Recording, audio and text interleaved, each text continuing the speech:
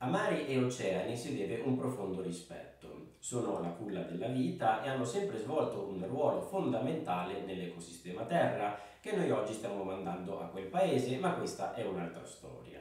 Oltre all'inestimabile importanza naturale, andare per mare, per noi eh, umani che ci addentriamo in un ambiente che non è il nostro, comporta sempre dei rischi. Le condizioni meteorologiche possono cambiare da un momento all'altro, si può andare incontro a fortissime correnti, tempeste, incagliarsi improvvisamente in una secca. È come se non bastasse noi ci mettiamo del nostro con la pirateria. Quando si pensa ai pirati vengono subito in mente quegli avventurieri che hanno spadroneggiato nei Caraibi tra la metà del 1500 circa e i primi anni del 1700, ma la pirateria è antica tanto quanto la navigazione. Per fare un esempio, Giulio Cesare venne rapito in giovane età da dei pirati e quando scoprì il riscatto che veniva chiesto per la sua libertà si offese perché lo riteneva troppo basso. Quindi diversi mari e oceani sono stati interessati da questo fenomeno, compreso il mar Mediterraneo.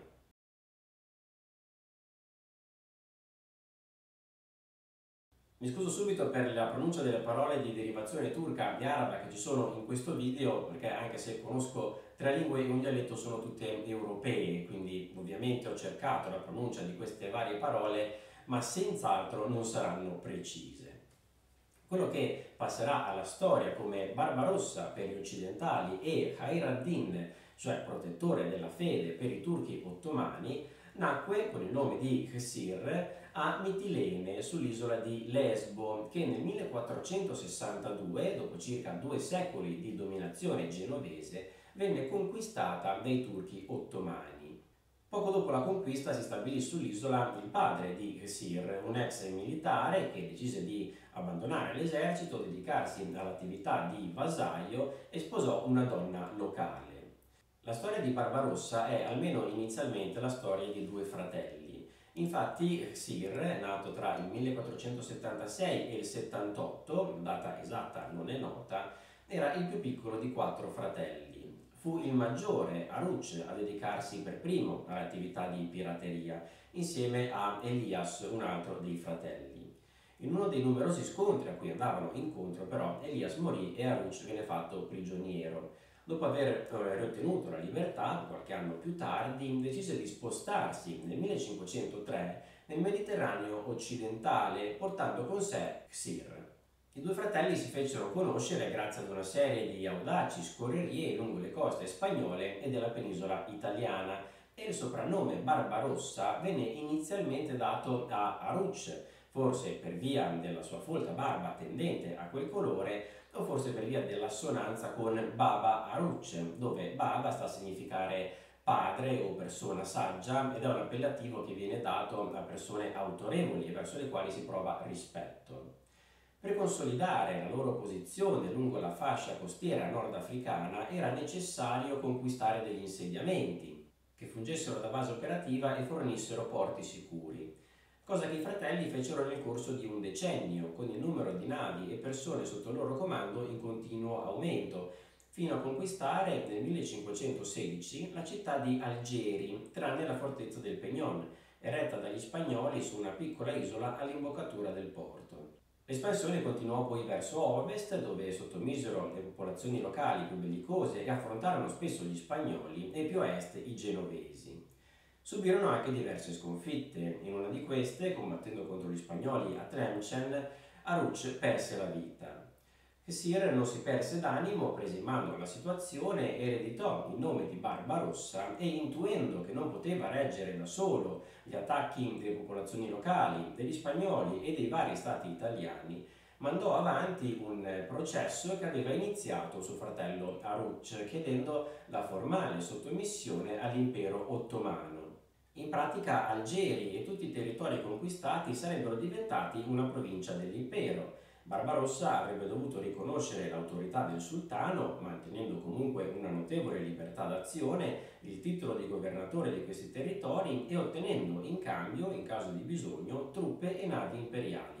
Il sultano Selim I accettò di buon grado e, forte di questo notevole supporto, Barbarossa dedicò tutte le sue energie alla pirateria, anche se con qualche battuta d'arresto, tra cui la perdita nel 1529 di Algeri per mano di popolazioni berbere, che poi Barbarossa dovette riconquistare e nel farlo rase al suolo con un pesante cannoneggiamento la fortezza del Peñón, che venne coraggiosamente difesa dalla ridotta guarnigione spagnola per tre settimane. È in questo periodo che decise di farsi chiamare Khair ad-Din, protettore della fede. Dopo la riconquista di Algeri, la città divenne la base delle scorrerie di Barbarossa, che nel 1533 venne convocato a Costantinopoli per ricevere il titolo di comandante supremo della flotta ottomana dal successore di Selim I, il sultano Solimano I, figura ben nota non soltanto nel mondo ottomano, era conosciuto tra i turchi come Solimano il legislatore e tra gli occidentali come il Magnifico. Quindi da quel momento le azioni di Barbarossa non erano più semplici razzie, ma veri atti di ostilità da parte dell'impero ottomano, che non si fecero attendere. Già durante il ritorno da Costantinopoli risalì lo stretto di Messina e compì incursioni lungo tutto il litorale occidentale della penisola italiana, seminando il panico da Reggio Calabria a Savona e facendo passare con un evidente gesto di sfida le sue navi molto vicine alla casa del grande ammiraglio genovese Andrea Doria. I due si fronteggeranno in diverse occasioni. Nell'estate del 1534 compì una nuova serie di incursioni sulle coste meridionali e centrali della penisola italiana, da Cosenza a Sperlonga, nelle cui vicinanze, a Fondi, tentò addirittura di rapire Giulia Gonzaga, vedova di Vespasiano Colonna e famosa per la sua grande bellezza, per donarla a Solimano I. La Gonzaga riuscì a scampare la cattura in una rocambolesca fuga notturna dell'ultimo minuto e per la rabbia Barbarossa mise a ferro e fuoco il territorio e le città presenti, che vennero saccheggiate per giorni. Prima di rientrare ad Algeri puntò su Tunisi, che venne conquistata quasi senza colpo ferire. La città si trova in un punto strategicamente fondamentale per il controllo dei traffici che transitano dal canale di Sicilia, che unisce i due bacini del Mediterraneo. La sua cattura da parte di Barbarossa era molto preoccupante e scomodò un pezzo da 90.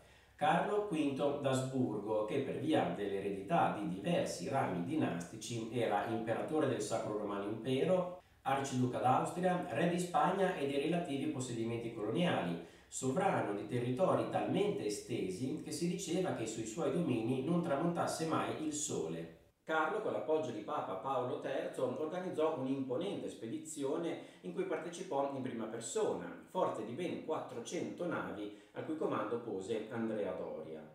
Salpati da Cagliari nel giugno 1535, Tunisi venne riconquistata dopo un mese di assedio e restituita a Mulay Hassan, precedente signore della città, anche se gli spagnoli tennero il possesso di un forte nelle vicinanze per scoraggiare future azioni da parte di Barbarossa, che da parte sua, per ehm, ritorsione di fronte alla perdita di Tunisi, assalì l'isola di Minorca, distruggendo le fortificazioni del porto, razziando il territorio e catturando ben 6.000 abitanti che vennero venduti come schiavi.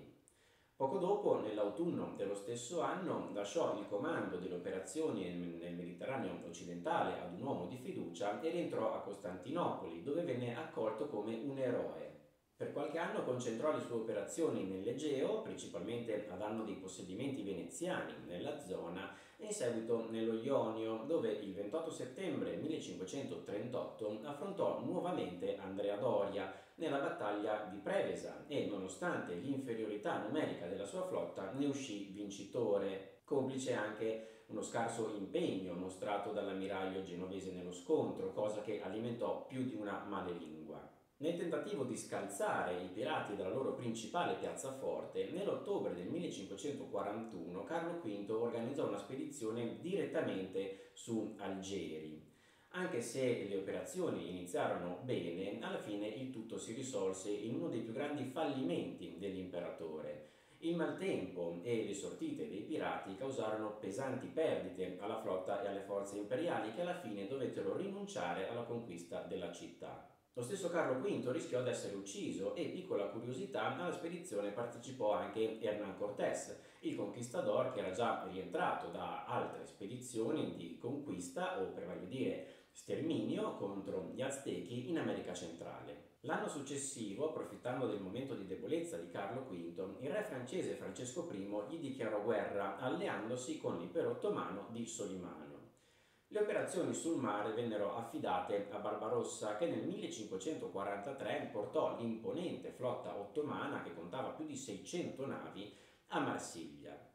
Anche se Khair ad-Din voleva affrontare gli imperiali direttamente in mare, il re francese tentennava. La sua posizione infatti era piuttosto precaria.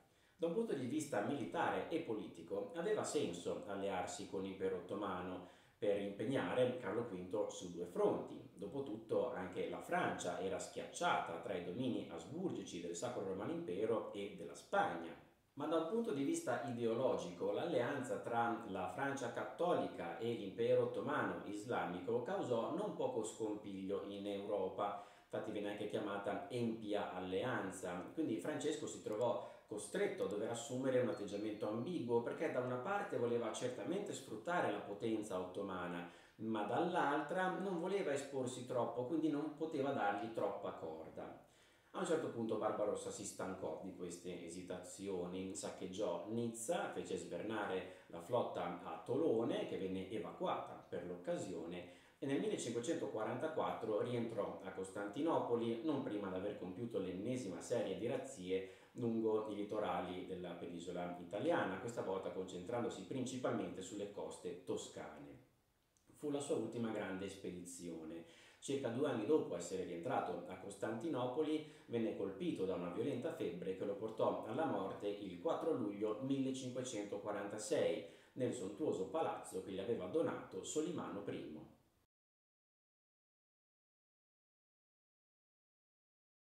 Il mausoleo che conserva le spoglie di Barbarossa, costruito dal celebre architetto Mimar Sinan, si trova sulla sponda europea di Istanbul, che fino agli anni 30 del 1900 era conosciuta come Costantinopoli.